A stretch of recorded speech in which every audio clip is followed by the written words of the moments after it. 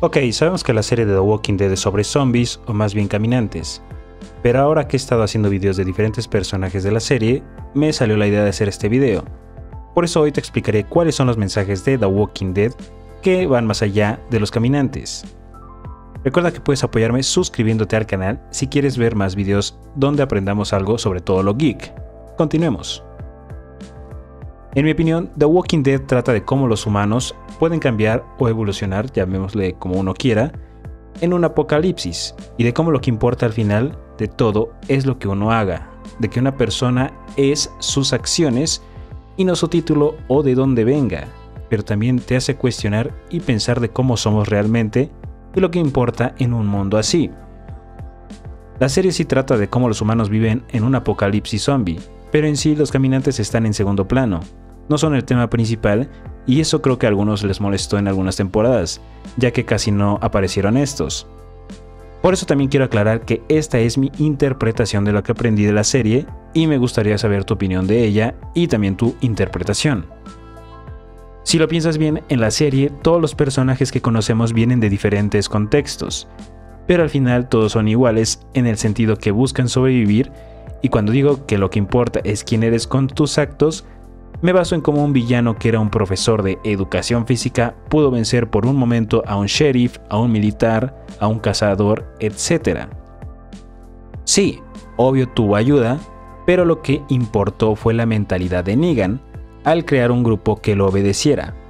Negan no era el más fuerte ni el más rápido, si esa fuera la clave para sobrevivir en un apocalipsis, él hubiera muerto muy temprano al final de cuentas se resume en lo que en la película de Batman inicia, Rachel le dice a Bruce. Pero no es quien seas en el interior. Son tus actos los que te definen. Además de esto, algo que aprendí fue a no confiar en la gente hasta no ver lo que pueden llegar a ser. Actos buenos y malos. Si una persona es toda felicidad y buena, tal vez oculta algo negativo, como en términos. Un supuesto paraíso y trataban bien a todos, y sabemos cómo eran realmente. Pero alguien que inició como un villano como Negan y ver su cambio a alguien bueno, esa transformación que empezó a ayudar a la gente, es la otra cara de la moneda. Esto me hace preguntarme entonces en quién confías. Tal vez en el segundo, porque ahora sabes qué puede llegar a ser, primeramente en su lado negativo, por así llamarlo. Por ejemplo, cuando Rick y su grupo llega a Alexandria, ellos no confían en los ciudadanos y viceversa. No es hasta que ambos ven sus lados negativos cuando comienzan a crear confianza porque aquí sabes hasta dónde puede llegar alguien con tal de salvarse. Te hace reflexionar sobre cómo es realmente el humano, como lo dijo Jean-Jacques Rousseau. La sociedad civilizada es como una máscara que llevamos sobre la sociedad natural. Algo bueno de la serie es que todos o casi todos los personajes evolucionan, cambian, no hay ninguno que no lo haga. El mundo te hace cambiar porque si no te comerán. Si lo pasamos a nuestro mundo, eso que nos incomoda, ¿qué debemos hacer aunque nos cueste? Es lo que nos hará cambiar, evolucionar y tal vez llamémosle mejorar. No sabemos si será para algo bien o para mal. Tal vez no haya que juzgar ese cambio, pero es necesario lo que tenemos que hacer. James Baldwin decía, no podemos cambiar lo que no podemos enfrentar. Rick Grimes no quería adaptarse al mundo en las primeras temporadas, cosa que Shane sí hizo. Y es que Rick al final te enseña que adaptarse es esencial para caminar en el mundo. Que las decisiones difíciles no son siempre equivocadas y que la esperanza puede ser poderosa. Él tuvo caídas y su proceso para cambiar fue doloroso, pero si no lo hubiera sido, no hubiera cambiado y no hubiera llegado al final. Y es que debemos buscar esas pequeñas victorias constantemente, aunque sean momentáneas. Como decía Arthur Schopenhauer, la vida es una lucha constante y la felicidad es una ilusión temporal en medio de esa lucha. En cierta forma el mundo de The Walking Dead es más frágil, ya que un error te puede costar tu vida o la de tus seres queridos. Aquí se muestra quiénes tienen la mentalidad para seguir adelante y tomar decisiones difíciles. Al inicio vemos que gente no podía aguantar todo lo que pasaba y se quitaba la vida, no los juzgo. Es algo realmente difícil ver el mundo caer y estar llenos de incertidumbre. Todo inicia en un caos, el mundo es horrible, no hay leyes, no hay civilización cualquier cosa que hagas puedes ver sus consecuencias rápidamente. ¿Cómo alguien quisiera vivir en un mundo tan frágil? En nuestro caso, tal vez no todo es así porque hay un sistema que cuida todo, hay un colchón por así decirlo. Podemos equivocarnos una y otra vez en esta vida, pero en The Walking Dead si te equivocas una vez puede ser el final. Al ser el mundo tan frágil, creas más ansiedad, tienes más miedos, eres más emocional, pero a su vez te das cuenta de que lo que importa al final de todo es tu tranquilidad interior. No solo las personas con las que convivas, porque podrán irse de tu vida por cualquier razón. No podemos controlar el exterior, solo el cómo reaccionemos. Como decía Epícteto, no es lo que te sucede, sino cómo reaccionas a ello lo que realmente importa.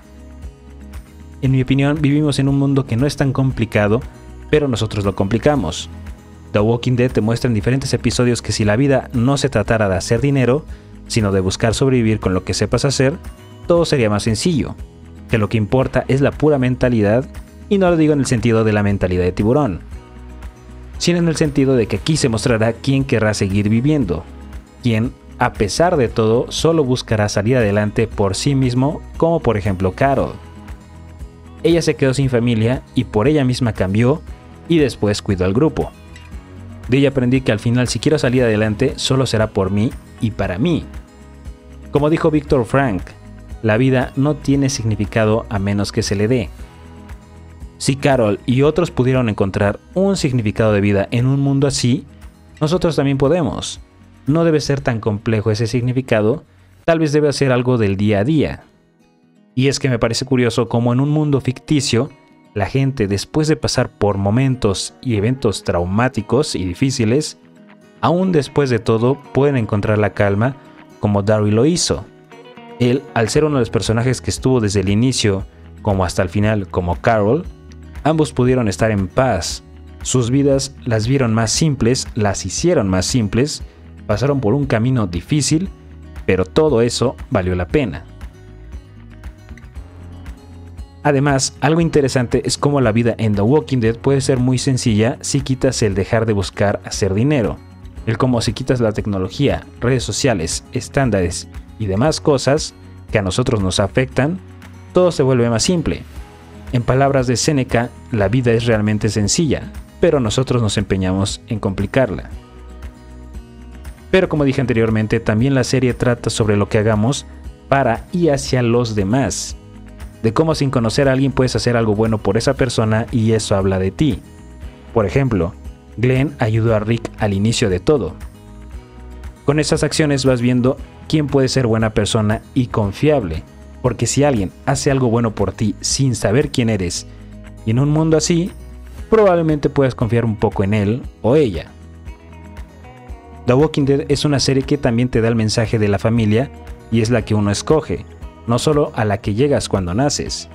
Al tú escoger a tu nueva familia, aceptas sus pros y contras, y al tú aceptarlas y decidir quedarte ahí, es cuando formas relaciones fuertes, como Daryl y Rick.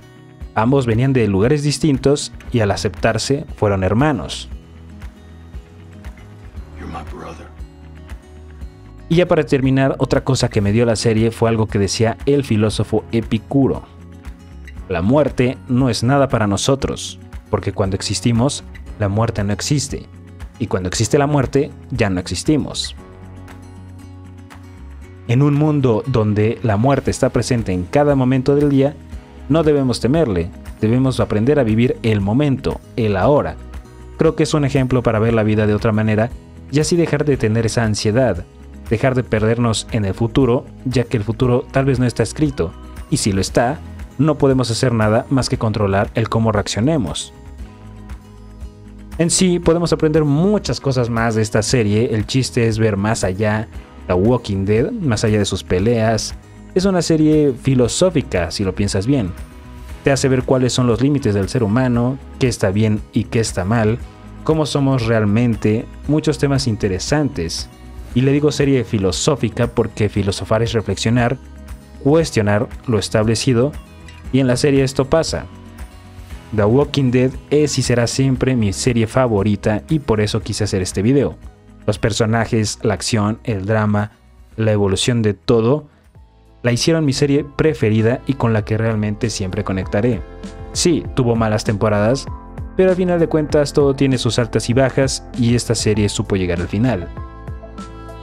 Esto sería todo por el video de hoy amigos, espero les haya gustado, si lo fue apreciaría que le den me gusta y lo compartan y se suscriban al canal si aún no lo están. Muchas gracias por ver este video, cuídense y adiós.